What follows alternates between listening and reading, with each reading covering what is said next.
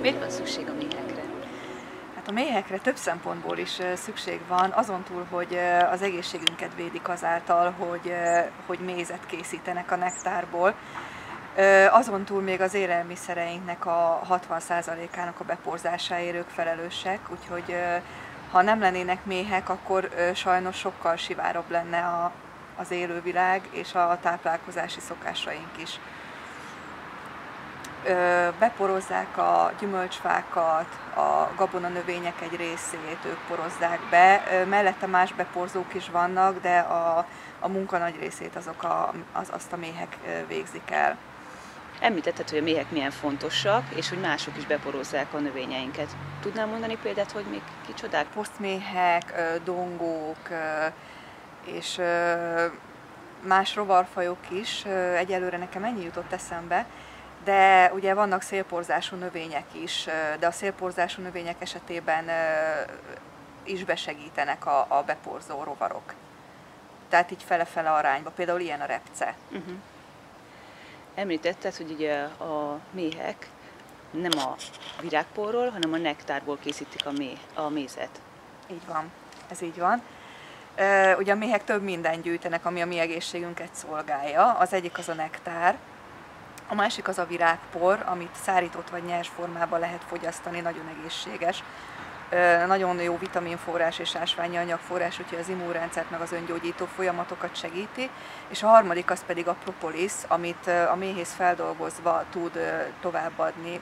Ez gyulladáscsökkentő és baktériumölő egyébként feldolgozva és ezt használják benne a méhek a kaptárba is. Az előző kérdésedre visszatérve, hogy lesz a nektárból méz, ez úgy történik, hogy amikor a belső munkával a méhek elérték azt a kort, hogy a belső munkával végeztek, ezután jönnek külső munka, miután betájoltak, hogy hova menjenek vissza a kaptárba, ezután ők elmennek gyűjteni.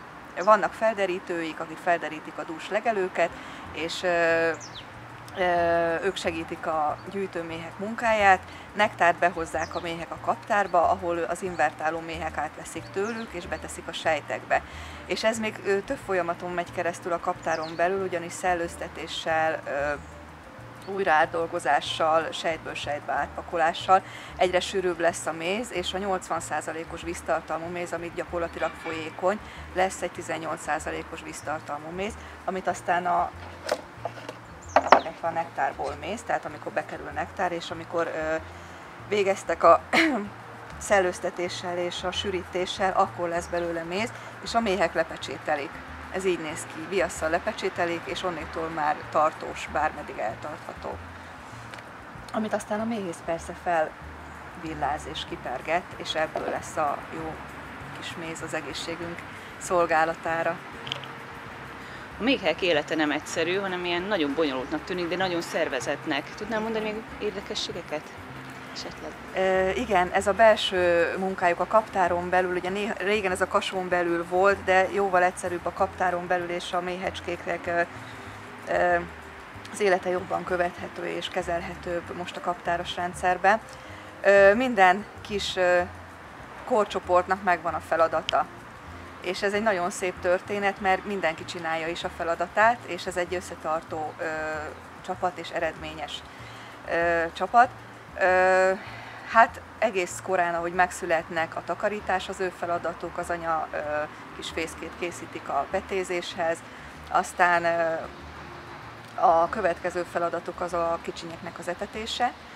Ö, akkor fejlődik ki a garat váladék, és akkor tudják a méheket, a kicsiket etetni. Aztán a következő feladatuk az a viasztermelés, a saját testükből termelik ki azt a viaszt, amiből később felépítik a, a lépeket, amiben aztán majd a méz kerül, meg a fiasítás. És a következő feladat, következő korcsoport az ilyen 10-12 napos koruk körül az építő munkások, akik szépen a sejteket kihúzzák a, a kaptárba, és ezután jönnek az invertáló méhek, amiket, akiket már az előbb említettem, hogy a, a hordó méhekbe hozzák a nektárt, az invertáló méhek átveszik és beteszik a sejtbe.